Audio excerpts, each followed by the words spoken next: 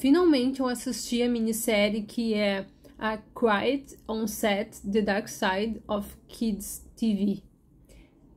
Bem pesado, bem pesado, bem pesado, principalmente para quem viveu ali a Nickelodeon, que nem eu vivi quando eu era criança. E tudo bem que esses casos eram um pouquinho antes de, de eu começar a assistir.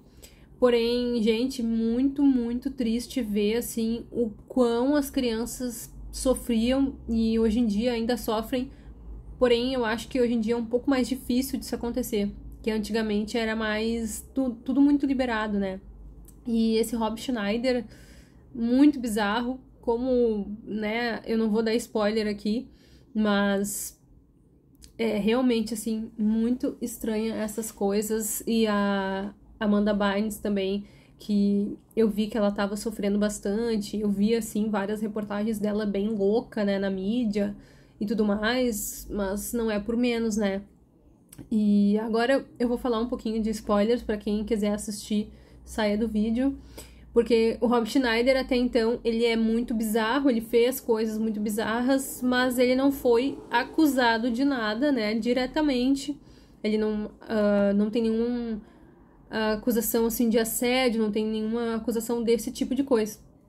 E mais bizarro ainda, o Drake Bell, que eu sabia que ele tinha vários problemas, que depois que ele saiu do Drake Josh, ele meio que sumiu. E eu não sabia, né? Eu era criança também. E eu não sabia por que, que ele estava sumido, enfim, mas eu nunca ia imaginar que ele que ia ser a vítima ali do, do cara, do set ali, enfim, né? E também, assim, uh, pensando agora, né, com essa visão, assim, mais adulta daqueles episódios, principalmente do Zoe 101, eu gostava bastante, mas eu achava muito estranha algumas coisas. Mas eu era criança, a gente acabava relevando, né? Mas, de fato, assim, é muito estranho. Era muito sexualizado e eram meninas bem novinhas ali fazendo, né? E também essa questão, assim, do Brian Peck ter feito isso com Break Bell, mas quem assistiu a série ali viu que era uma coisa muito, muito bizarra, porque no final das contas ele acabou morando na casa dele, e, enfim, é uma coisa horrível, né? É uma coisa que a gente não consegue entender. É, eu não sei até que ponto foi tipo uma síndrome de Estocolmo ou realmente ele se sentiu preso ali na casa dele, né? E uma coisa que chamou muito atenção que quando eu vi o desenho, eu tinha certeza que era do Gacy, mas eu não acreditei, né? Porque ele ser amigo do Gacy, nossa, era uma coisa assim mais impossível e perigosa, né? Porque imagina, então realmente ele aprendeu com um dos maiores assassinos aí de meninos uh, e estupradores de meninos, né? E, e teve outro caso também de uma menina de 11 anos, eu acho que ela tinha, no início da minissérie.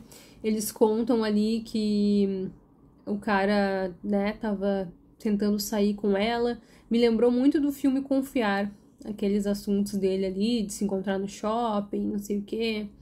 Então, nossa, bem chocante, assim, ver e triste, porque daí a gente vê, assim, que a nossa infância também tá no meio de muita podridão, e aí a gente admirava ali os desenhos, os atores, os atores não têm culpa disso, mas saber que eles passavam por isso e que eles tinham jornadas de trabalho horríveis naquela idade é muito chocante, assim, é muito quebrar um pouco assim com aquela nostalgia da infância da gente, né?